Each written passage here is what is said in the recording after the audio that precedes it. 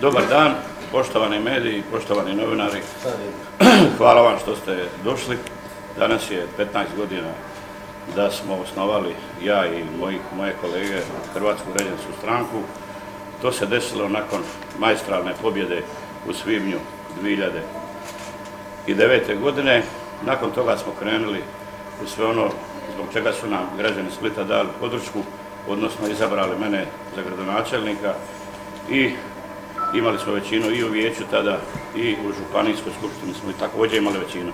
Krenuli smo tada sa entuzijazmom, željom, voljom da pokrenemo naš grad. Napravili smo odmah u startu i vrtiće i, i dječje knjige i tako dalje i tako dalje. Da ne ponavljam, vi svi znate šta se napravilo u mandatu. E, tom od 2009. do 2013. Nakon toga ovaj, e, krećemo u 2013. izbore, tada je pobjedio Baltazar, mi smo tada bili treći, odnosno ja kao gradonačelnik i u e, vijeću grada Splita i županijskoj skupštini. Nakon toga dolazi 2017. opet ovaj, lokalni izbori, znači da pojednostavnim, mi smo do sad, e, iduće godine ćemo biti peti put na lokalnim izborima. Znači 2017. ponovo idemo na izbor, opet ja kandidat, naravno ljudi me podrže, u prvom krugu pobjedim, u drugom krugu u 19 sati opet pobjedim, ali na žalost u 23 sata 9% glasova nevažeći. Ok, dalje, izbori su 21. dolaze neki novi i tu e, opet budemo treći. Znači, u ovih 15 godina e, Hrvatska građanska stranka je opstala, ili je bila prva ili druga ili treća i u gradu i u županiji. E, što smo napravili? Napravili smo velike stvari za Split, rekao sam neću ponavljati zato što vi svi skupa znate šta sam napravio, ali izdvojit ću neke stvari za koje se možda nisu spominjali. Recimo u mom mandatu prvom, znači tada se, ja se točno znam sve šta se radilo i kako, e, ovo pričam zbog toga koliko Hrvatska građanska stranka, ja na čelu stranke, moji ljudi, koliko nismo opterećeni i koliko jednako i isto tretiramo bilo koga. Znači u, tom našom vlasti mi smo otvorili, odnosno dali građevinske dozvole i Bauhausu, i e, centru ovome, Konzum na Serobuji, i City Vano, i Novome Moru. Znači, to je ta situacija gdje mi nismo rekli oni nisu podobni, oni nisu naši, da pače. To je sve bila konkurencija, ali nema veze. Spomenut ću još jedan detalj e, e, u čemu se razlikuje Hrvatska građanska stranka, odnosno članovi, ja kao predsjednik stranke od drugih. Znači, početkom mandata 2009. naravno ja sam u dobroj volji kupio zemlju na prvoj vodi, desili se prosvjedi i tako dalje, ali po kupu tada, ja sam platio to masno, ja mogu dobiti dozvolu za restoran. Znači ovo spominje kao jedne e, e, usporedbe, primjere koliko smo mi različiti od, drugih političara. Dolazi do situacije da e, pročelnica u Županijskoj skupštini, Vuković, daje negativno mišljenje i ne da papire kakve treba dati da bi se ishodila dozvola a zapravo su mi u Županijskoj skupštini većina, imamo većinu vijećnika i predsjednika Županijske skupštine. Znači šta hoću reći? Da Željko Kerum, ja kao gradonačelnik i kao e, većinski u Županijskoj skupštini nisam koristio niti utjecaj, niti poziciju moći.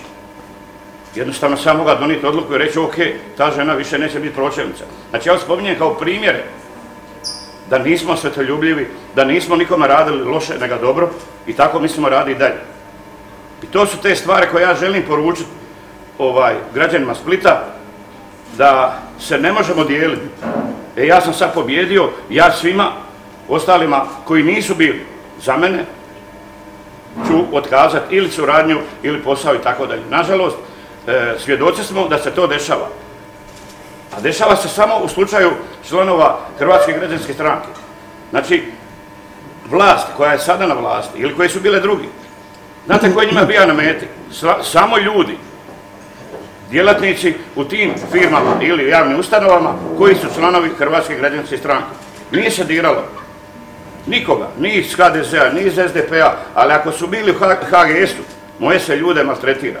To nije korektno, to nije pošteno. I zato hoću naglasiti, bez obzira što su političari, jasno je, jedno rade, drugo misle, treće govori, lažu, zaključak, lažu, doslovno lažu, ali ne bi trebali biti osvetoljubljivi i e, e, kad dođu na poziciju da maltretiraju one koji nisu bili s njima. Kad sam spomenuo ovo lažu, znači postoji dugi niz godina gdje svi gradonačelnici Splita obećavaju da će napraviti ovo, ono i tako dalje, između ostalog i stanova. Ni jedan gradonačelnik Splita nije napravio ni jedan stan. Svi poslovi stanovi Splitu su realizacija. Da nije bilo, prvo napravilo se na mojoj zemlji. U prvom slučaju sam surađivao, znači koliko je moja neisključivost. Ja sam spreman surađivati sa svima.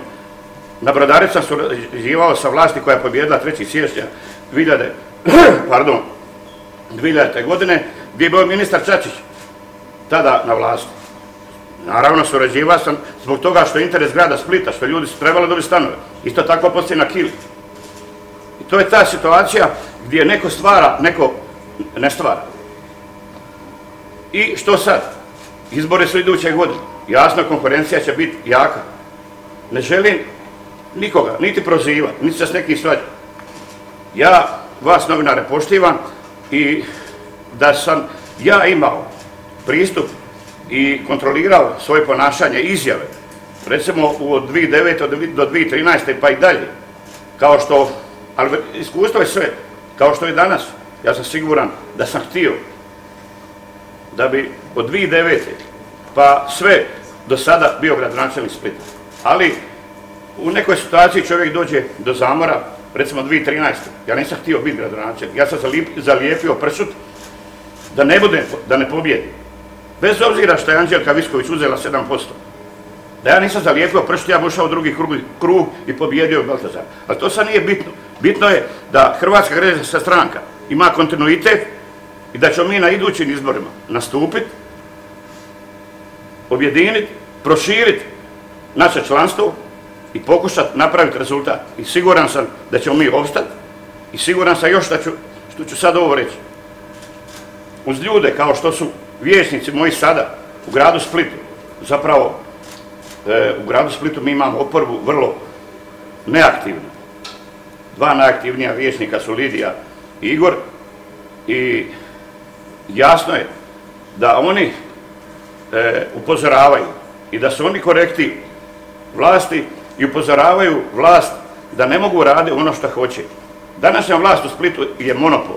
Oni imaju apsolutno većinu i oni mogu raditi što hoće.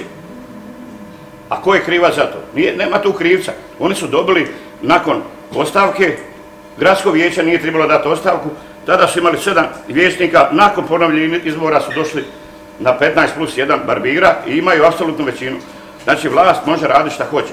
I u toj sad vlasti, u tom vijeću gradskom, postoje dvoje ljudi, a to su iz HGS-a, koji donekle pokušavaju upozoriti vlast i štiti građane Splita. I evo na kraju da završim. Znači, ono što sam malo prije spomenuo, ja sam uvjeren na idućim izborima da ćemo mi postići Hrvatska građanska stranka. Ne dobar, nego odličan rezultat. A isto sam tako uvjeren da će Hrvatska građanska stranka u neko vrijeme ponovo biti vlast u Splitu, odnosno imati svog gradonačelnika. Da li će to biti Igor, Lidija, Željko, Ante, Mate, to uopće nije bitno. Ali je činjenica da smo mi 15 godina iz ničega obstali i da imamo politički značaj u gradu Splitu. A najbitnije i najljudskije, znači ljudsko treba poštivati i postojati. Zato sam neki da izašao u javnost. Ne možeš ti naštimati, doći čovjeku na njegovu imovinu, naštima da te snima provocirati, na kraju zva policiju da ga zatvori. To nije to, tu nema ljudskosti. Znači postoji dijalog, postoji priča, postoje razgovor. Ok, svak se može naljutiti, ali rade nekome štetu i zlo, a pogotovo na njegovoj imovini, to to što se tiče Hrvatske građanske stranke, mene osobno ne dolazi obzir. Znači, uvjeren sam u naše rezultate i da ćemo na izvojećim izborima napraviti lokalni dobar rezultat, a uvjeren sam milijardu posto da će iz Hrvatske građanske stranke u neko novo buduće vrijeme postojati čovjek ili žena koja će voditi grad Split i biti gradonačelnik ili gradonačelnica. Hvala vam još jednom što ste došli. Želim vam svu sreću vama i vašim obiteljima.